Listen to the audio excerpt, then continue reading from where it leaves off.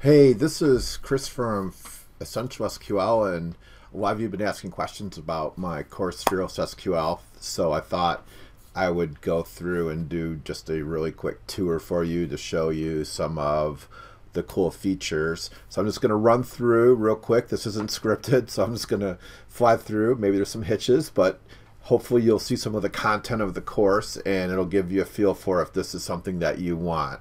So let me start out with the main page here and the modules. I'm going to run through these and then we'll dig into one of the modules and you can get a feel for how I actually set up one of the lessons and uh, you can see all the, the care I actually put into it.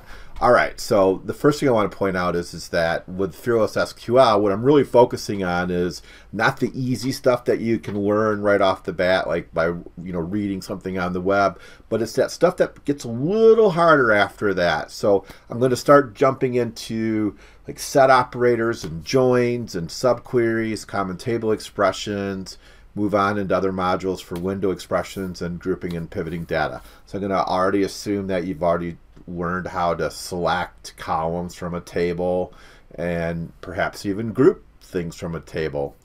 And we are going to just jump in from there and learn how to combine the data together. Okay, so let's go look at a sample lesson here. And I'm just going to pick one and hopefully um, we get some good stuff. So let's look at a module here and we'll pick a lesson. So I'm, I'm into the subquery module right now.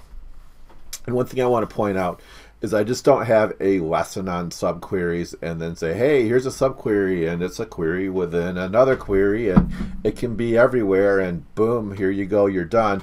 No, I go through and I'll show you how the subquery works everywhere it can be used. So we're going to talk about subqueries and how they can be used in the column list. Can you have a, you know, query in um, where clause? where what's where is a query um, used versus inner join what's what's correlated subquery? Um, people get confused when queries return more than one record.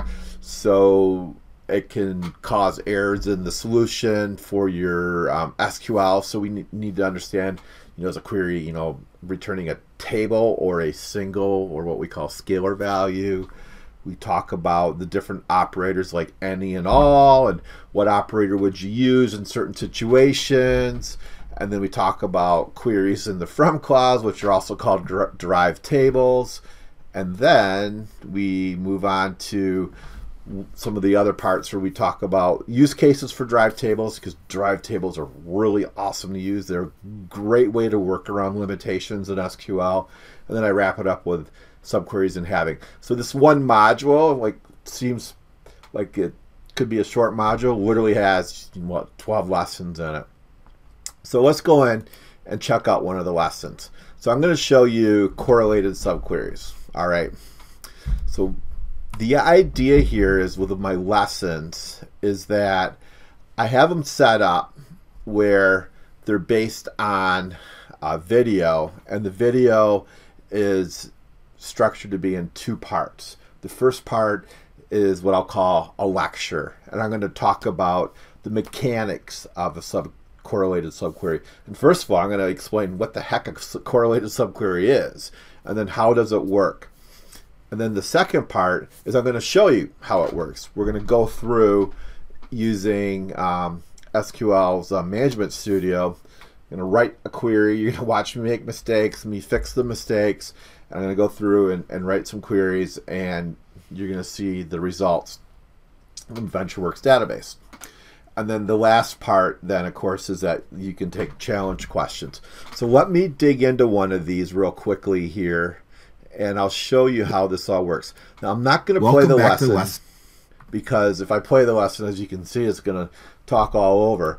But I will expand it out here and then I'm going to just kind of slide through the bottom real quick and you can see that what I'm really talking about here now is going through like a lecture part where I would explain what the correlated subquery is, how it works. We get, you know, a couple minutes in. So here we're like four minutes into the lesson. I'm going to go through, you know, the mechanics of a correlated subquery. You get further into the um, lesson and then we go into a demo. Okay, so I'll talk about at the end here, wrap some things up, talk about use cases for sort correlated subqueries. Then we'll go into the demo. And here you're going to see where you know the demo is going to be the bulk of the the lesson, and you're going to see where I'm going to take some queries from the AdventureWorks database and then just start working through them, as you can see on the screen.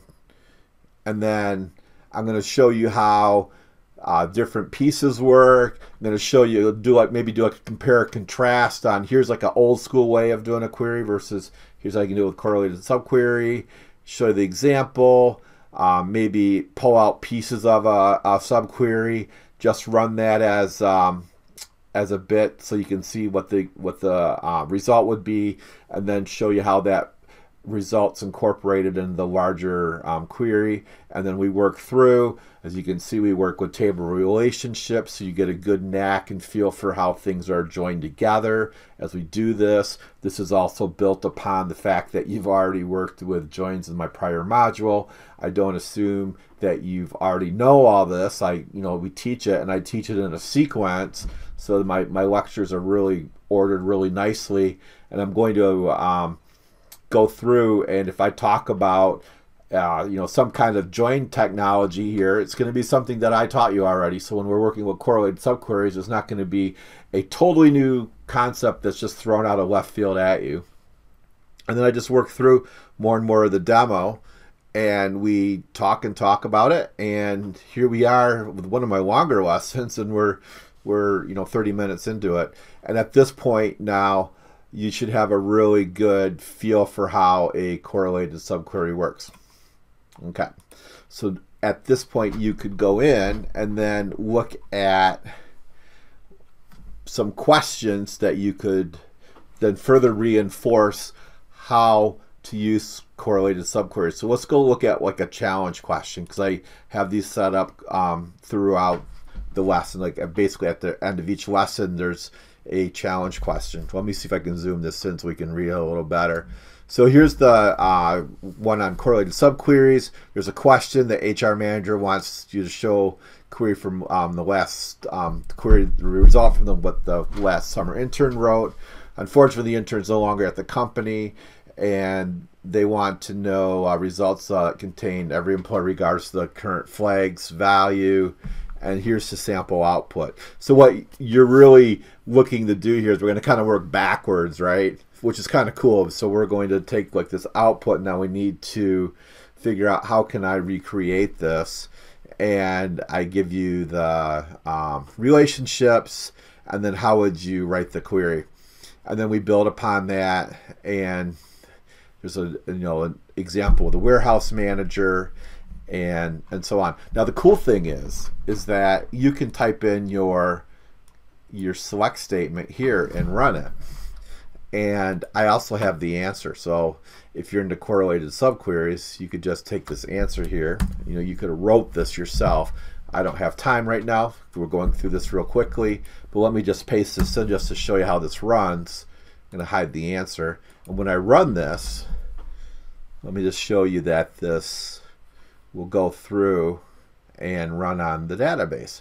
Because what's cool about this then is you can see the results of your work right here.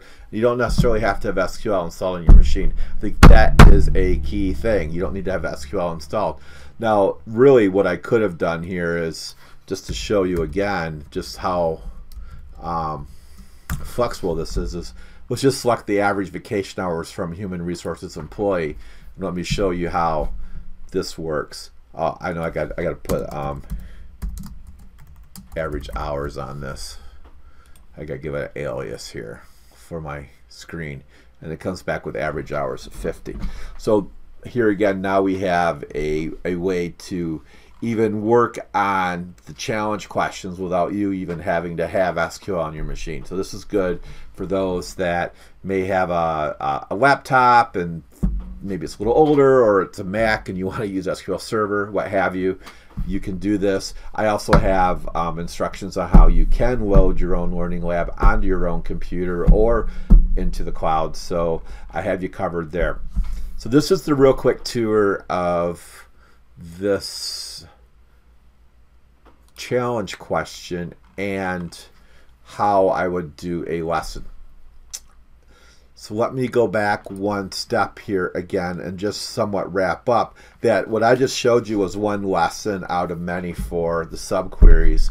And again, stepping back even further is that this one lesson is just part of my entire course on how you can become proficient at learning what I call intermediate and advanced SQL. All right and it, I lay it out very simply so that this is something that's you know visual and it's easy for you to learn. So now's a great opportunity for you to get into this course because I do have it with a coupon. So I would highly encourage you to check it out and I hope to see you enrolled in the class.